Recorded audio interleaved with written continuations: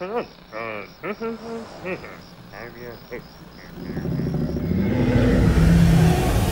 was eight minutes before bedtime.